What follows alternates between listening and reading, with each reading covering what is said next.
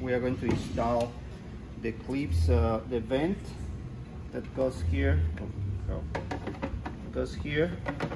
I'll show you in a minute. And this one that goes kind of right there somehow. I think this, I don't, I don't know exactly, but okay, we figure out in a minute. Uh, so this one goes kind of here.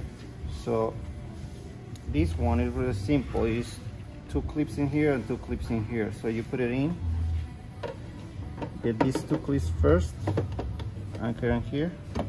Now you just push this one.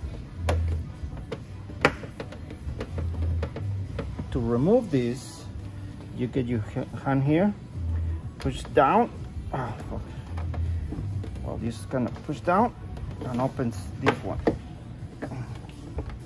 Gotta squeeze it to help. And open up, right? So when you open up this one, you pull it, pull it up, then it will come up easy.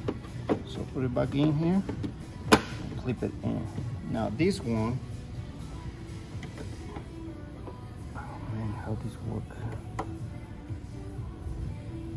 I don't, I don't remember. Oh, here. All right, right there. So you got it there. Just align it and then just clip. Really simple. Now it is done. Now we got uh, the way to take it off. You got a pry tool. Pry tool. Just wiggle it here. Get the maybe masking tape so you protect it. Clip in this one, this one, and it will pop out. Simple. Same thing. I show you this how they work. So let me put it back and that's it, it's firm. It doesn't go nowhere. All right, clean it up. That's it.